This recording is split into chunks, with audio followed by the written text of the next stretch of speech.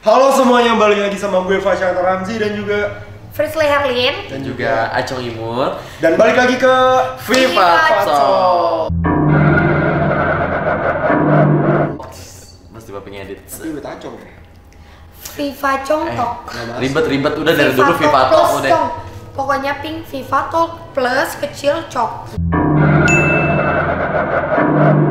Cong. Plus congnya tuh kecil Kecil banget. di ujung atas terbangin. Kalau bisa enggak apa. Oke, Oke. jadi kita mau ngebahas apa, Cong? Karena banyak banget sebenarnya kan udah pada kangen nih Udah pada sama kakak Sama kakak Oh. Iya, sama Frisley karena kan banyak banget yang nanya kayak eh, Kak Fasya kapan bikin video lagi sama Gak ada yang kangen sama Evan Hmm, kangen kesurupan mungkin.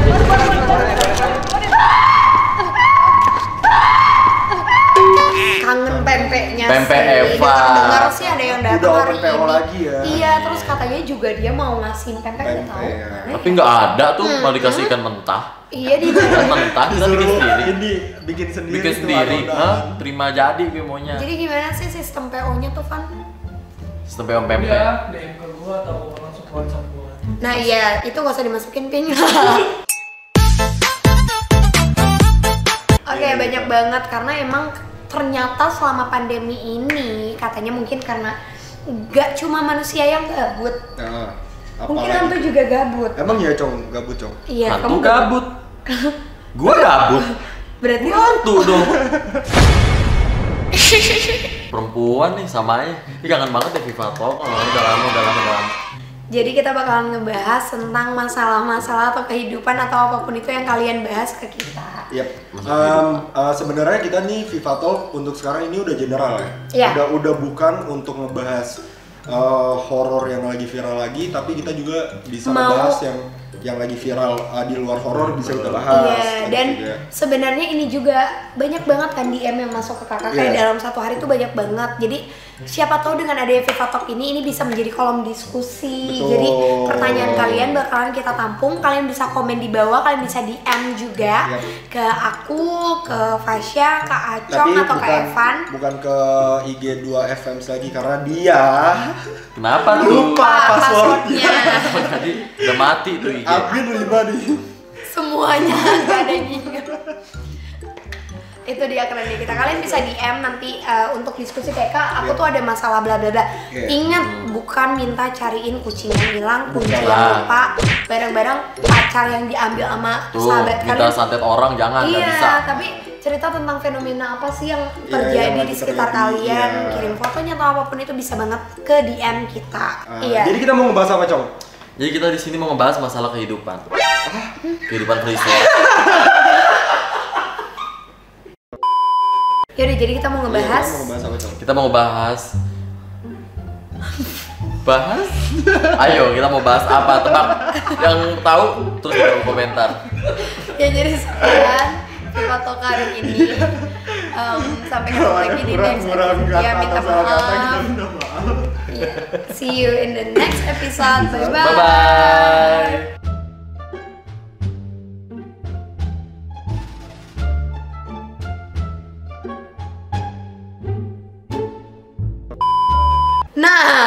oke ya, ya udah cepetan, Jadi kita mau bahas apa? kita bahas horor apa tuh yang mau dibahas horor?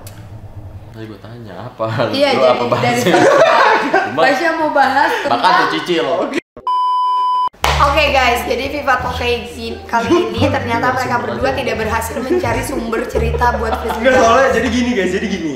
Jadi kita udah briefing di awal nih kayak emang kita mau ngebahas apa? Acong bilang "Eh, kita ngebahas yang lagi viral aja tuh yang pintu sama bangku gerak Iya. sendiri Iya. ya kan. Gue bilang dong, oh ya udah kalau gitu Cong, eh, coba gue minta sumbernya terus videonya. terus dengan entengnya dia bilang. Gue nggak tahu soalnya tadi gue cuma lihat Gua cuma doang. lihat di TikTok. Jadi Sedangkan kayak- dia udah bilang itu tuh viral banget. Gue gak tahu. Udah, gue juga gak ngerti pemikiran Acong. Lanjut aja ke cerita tentang uh, pengalaman selama aku selama- ditinggal Marsha. Ditinggal Marsha. Oh. Sebulan itu ya? Dua bulan. Dua bulan. Dua bulan tanpa Marsha itu aneh banget sih. Ini Viva Talknya ngebahas Marsha. Eh, jadi sebelum Marsha balik itu sebenarnya sempat ada yang ngaku-ngaku jadi Marsha di kamar mandi. Jadi itu tuh aneh banget. Baru gue tahu lagi. Ingat, Baru gue tahu lagi. Enggak. Ingat kan? Iya iya tahu. Tiba-tiba Jadi dia- aku teriak bener-bener gitu. happy banget. Kak Marsha balik, Marsha balik, Marsha balik karena Di memang kamar mandi kamar kau kan? Iya, jadi karena memang gini guys, jadi selama Tahu. Marsha nggak ada itu aku aku takut banget kan, bener-bener takut jadi takut banget jadi penakut. Bukan penakut dalam arti kayak takut sepenuhnya, tapi lebih ke, waduh, aku nggak dapet clue-clue sesuatu lagi nih Jadi tentang ngejaga apa gitu yang ya? lagi, bukan ngejaga kalau ngejaga mah gue percaya ada Tuhan karena gue punya agama Oh. nggak kayak lu. Oh. Jadi Yes. Nyembah batu gue. eh jangan gitu loh. Kalau Ya. nyembah batu tergantung kepercayaan orang lain. Kalau lu kan nggak pernah Lu kan percaya. nyembah. nyembah kaleng biskuit gitu. Enggak nyembah debu. Enggak, dia apa aja yang bisa dia sembah disembah. Ini ada bom ya. Jadi eh, selama Marsha nggak ada itu yang yang buat aku takut itu adalah efek ke- eh, setelah Marsha nggak ada. Eh, ketakutanku kalau misalnya ada sesuatu yang berhubungan sama keluarga misalnya ada orang kayak Acong yang nggak suka sama aku ngirimin sesuatu dan impactnya itu pasti ke keluarga. Biasanya kan Marsha pasti ngabarin kayak Vichy bla bla bla bla bla, aku bahkan tahu nih mah bla bla bla bla. Kalau ini tuh total nggak ada, Iya, benar-benar emang- total nggak ada.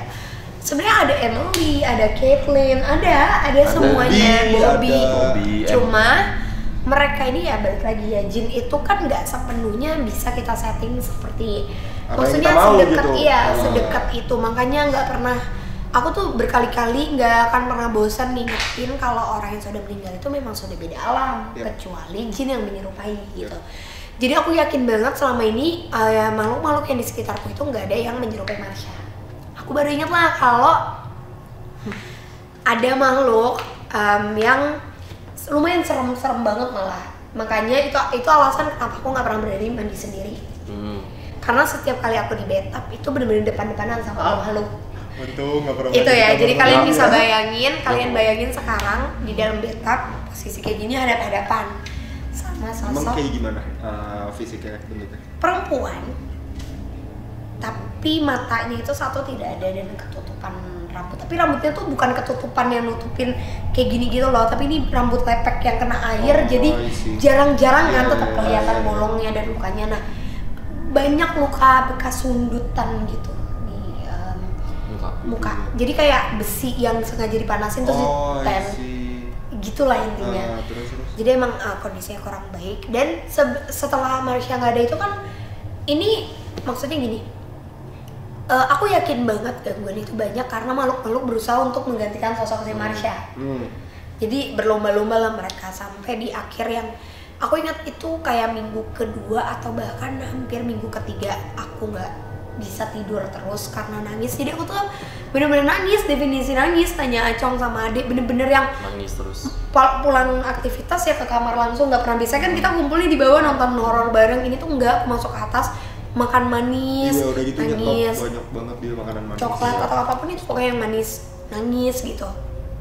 Mungkin si makhluk ini kan emang nggak pernah kakak interaksi kayak lo dari kapan nih? Lo jin dari mana? Bla bla. Udah udah bodo amat aku kayak bodoh mungkin dia berusaha untuk niat baik. Iya. oh karena dia tahu aku kangen Marsha menyerupai lah Marsha. dengan sosok Marsha tuh yang eh, kayak dulu malah nggak kayak Marsha yang sekarang. Jadi masih dengan kondisi yang kurang sempurna Oh, yang yang emang kayak ibarat tuh kondisi Kayak dulu. aslinya. Iya. kayak Iya, dulu iya. jadi aku kayak ngerasain bukannya terakhir itu aku ngeliat dia Mar- Marsha itu happy banget ya gitu tapi oh ya udah gitu aku nerima-nerima aja aku teriak Tapi seneng banget ngomong.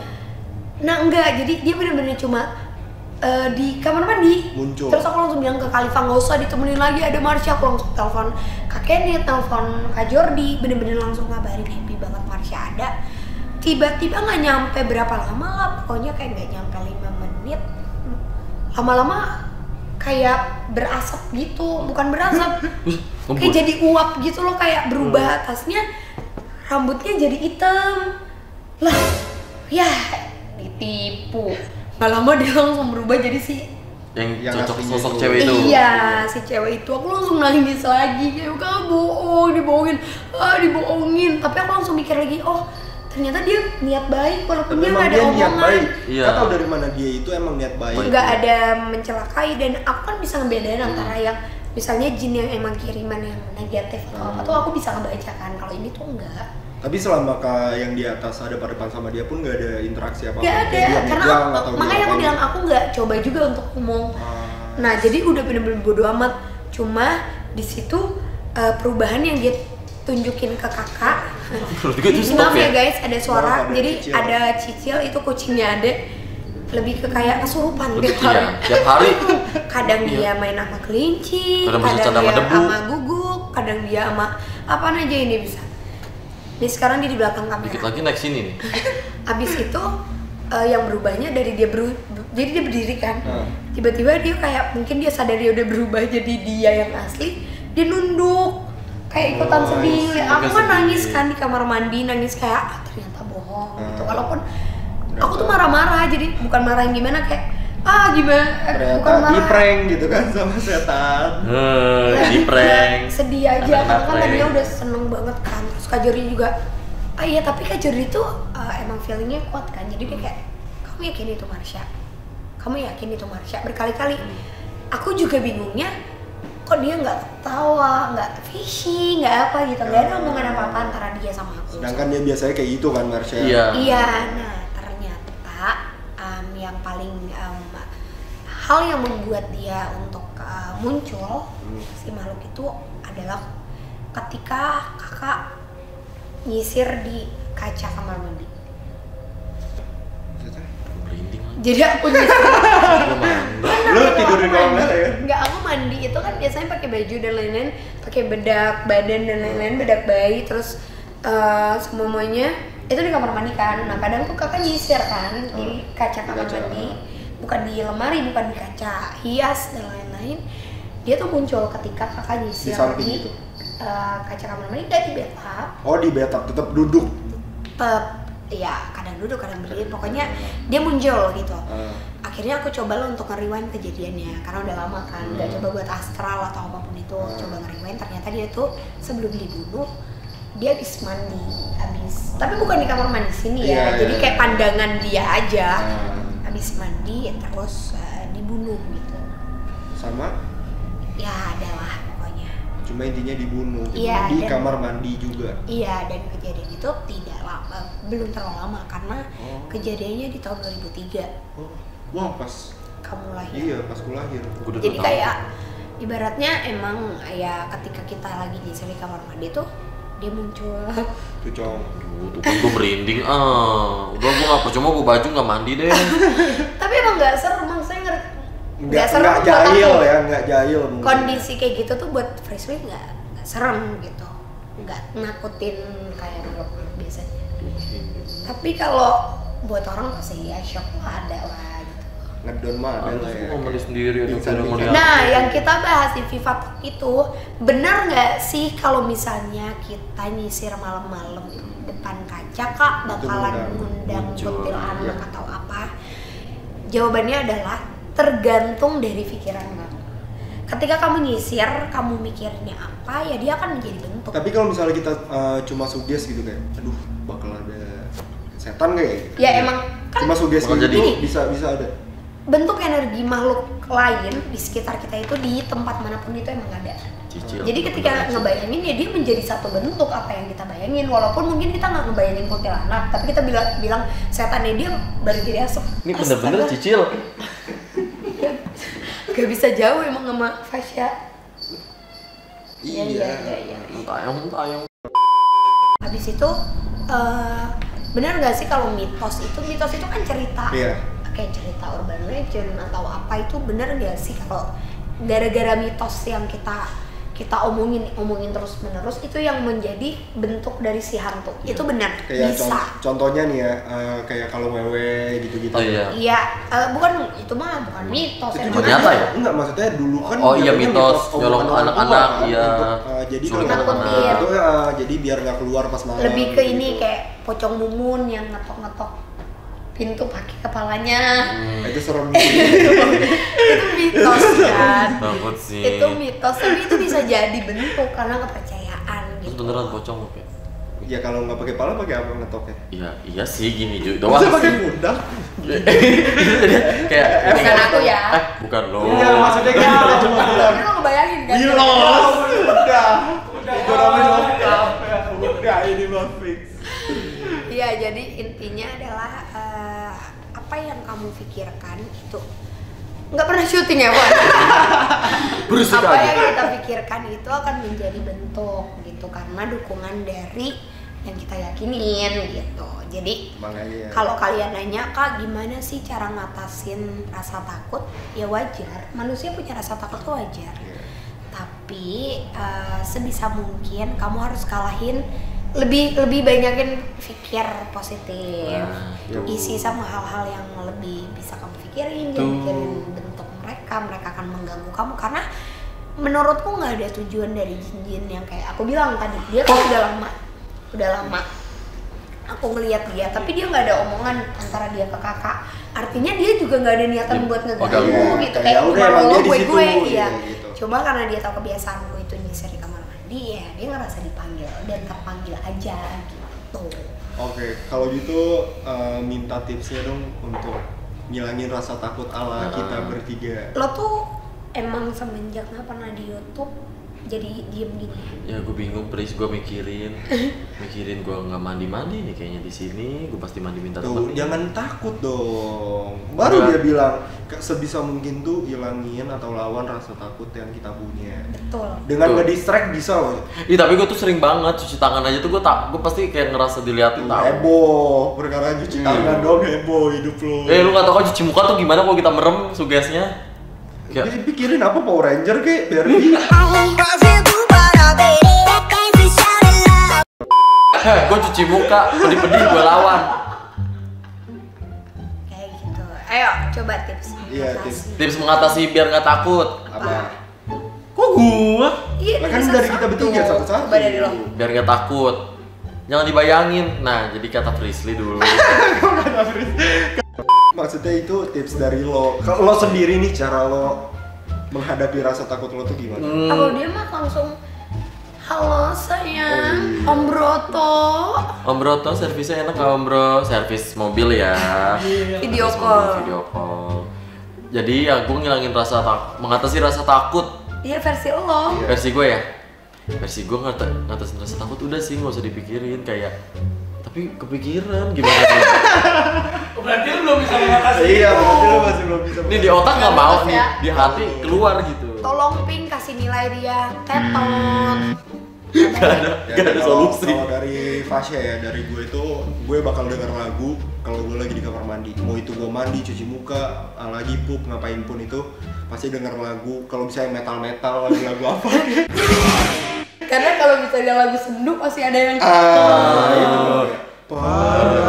Ya, ya udah we lost lari ya, gak mungkin pakai lagu-lagu gitu. Tapi itu Fasya emang sering banget ngundang karena kadang Fasya kalau pulang pun bawa-bawa ya wangian ya kita nggak tahu ya buat apa ya. Ah, aku juga nanti nextnya ini aku bakalan cerita tentang apa yang dibawa sama Evan, apa yang dibawa sama Acong, dan apa yang dibawa sama Fasya sampai dia masuk ke eh, kamarku cuma buat minta tolong. Terus dia cerita sekarang kayak Siapa yang minta tolongku? Saya ya? Masa tolong. orang yang ngikut gitu cicil.